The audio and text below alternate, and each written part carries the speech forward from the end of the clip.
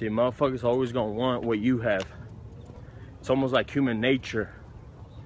When you're a little kid, five years old, and you get a toy, your cousin, your even your brother, your sister, your friend, they want the same shit. It's like we have that trait as humans since the beginning. But you can overcome that shit by just doing you. You know, it's like when a motherfucker's walking and they see him on another nigga on a bike, they want that bike. The dude on the bike wants the car that the next dude has. The dude on the car wants that motherfucking helicopter, you feel me? But there's levels to this shit, man. Work hard for your shit. That's all you gotta do. Worry about yourself. Don't worry about the next man. Yeah, check out my music video with Baby Bash, link in bio. Link in bio if you're on Instagram. If you're on Facebook, link in comments.